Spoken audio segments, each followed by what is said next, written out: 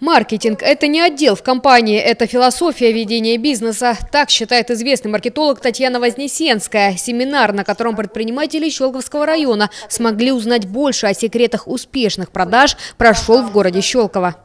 Мы проходим а, основные понятия, мы проходим эволюцию бизнеса, мы рассматриваем а, эволюцию бизнеса на примерах а, брендов. Дальше мы очень глубоко погружаемся и в продукты, в ценообразование.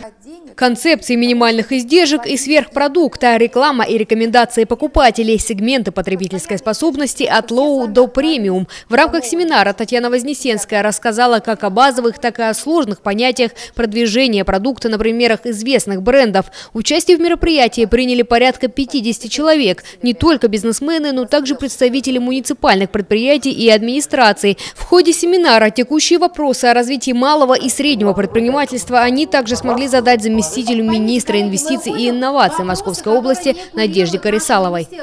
Мы постараемся ответить на все ваши вопросы, мы постараемся вам рассказать о о том, что сейчас происходит по мерам поддержки и бизнеса, и инвесторов, и предприятий промышленности.